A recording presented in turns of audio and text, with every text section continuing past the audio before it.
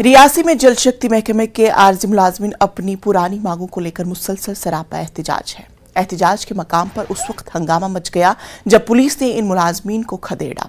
इन मुलाजमीन का कहना है कि इंतजामिया उनकी मांगों पर ध्यान नहीं दे रही है और वो चाहते हैं कि उन्हें रेगुलाइज किया जाए। काबिल ज़िक्र है कि आरजी मुलाजमीन के एहतजाज के सबब रियासी कटरा मेन रोड पर लोगों को आने जाने में तकालीफ का सामना करना पड़ रहा है। पुलिस ने बताया कि लोगों को दिक्कतों के बाद उन्हें इन मुलाजमीन को सड़क से हटाने के लिए मामूली ताकत का मुजाहरा किया गया।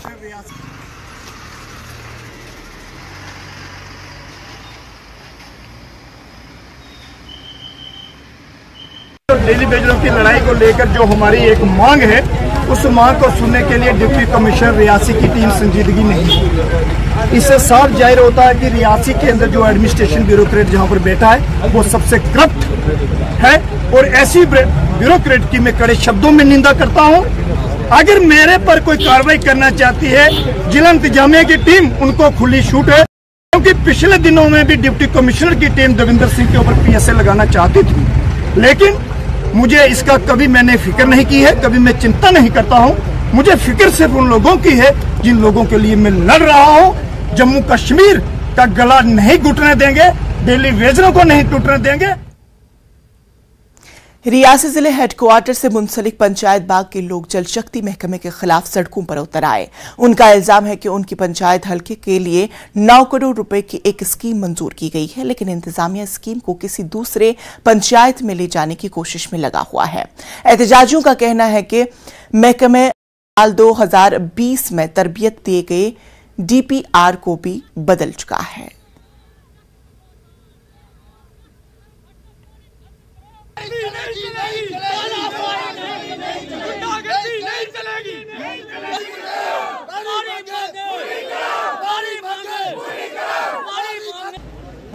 नए ही हम बने थे डीडीसी मेंबर तब से हमने इसको पास कराया। इस पर करोड़ों रुपए खर्च हुए हैं और करोड़ों रुपए से ये खर्च यानी पानी जो था बहगा और इसके गिरद गिरदो नवा में पानी लोगों को मिलना चाहिए था। लेकिन इन्होंने बेइंसाफ़ी की है।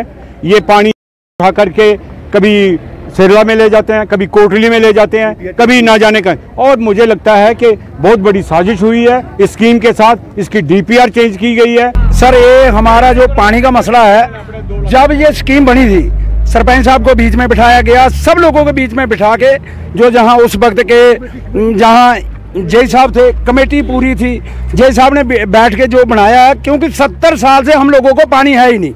पाँच दिन के बाद पानी आता है। और फिर पाँच दिन के बाद पानी आने के बाद हमारे लोग जो हैं परेशान थे जो उस वक्त के नाइक साहब नाइक साहब जो जहाँ जई थे उन्होंने बैठ बीच में जो स्कीम बनाई पूरी कमेटी बिठाई कि आपको तीस साल और कोई स्कीम नहीं मिलने वाली है।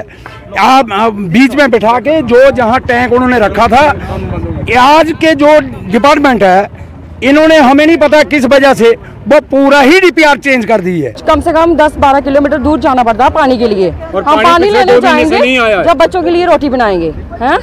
हम चाहते हैं कि हमें पानी डेढ़ महीना हो गया हमें पानी नहीं आया।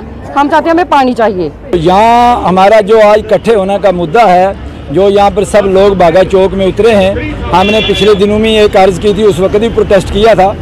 आज हमारी जो मांग है, वो कि हमने, मैंने 2020 में के के शर्मा से एक एप्लीकेशन मारे करा के चीफ इंजीनियर उधर से फिर जो भी प्रोसेस था वो चला के, हमने बागा पे के नाम पर पीएचई स्कीम बनाई है, जो कि 9 करोड़ कुछ की है।